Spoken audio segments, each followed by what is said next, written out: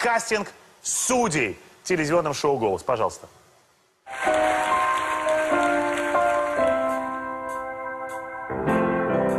I found my